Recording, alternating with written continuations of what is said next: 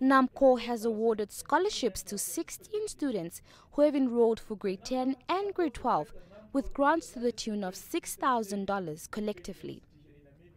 Denster said he was grateful for the opportunity to upgrade his grade 12 results and even more grateful for the scholarship. Since he is a voluntary community worker, Denster has been unable to earn enough money to pay for his studies since failing grade 12 in the year 2000.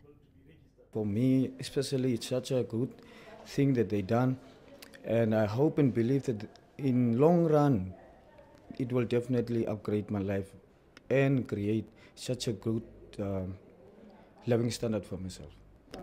NAMCOL envisions to spend about $300,000 on scholarships to benefit 250 students countrywide for this academic year. Of the parastatals, ministry agencies to see whether an event like this might be bigger one next year where we can have collected a 50,000 to sponsor the local learners in Hardap region. That will definitely benefit a number of learners. We only managed to, to, to, to award 6,000, but we are dreaming of awarding more especially in of Karas region, the poverty rate seems to be high.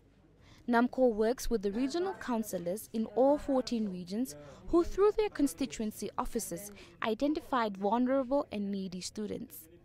The chairperson of the Hardap Regional Council applauded the initiative and pledged to, with council funding, to pay for the examination fees of the beneficiaries. We must make sure that the right people, people must not benefit double. The most needy ones must be identified. And I, I also applaud you. I also applaud your honorable councillors to deserve a round of applause.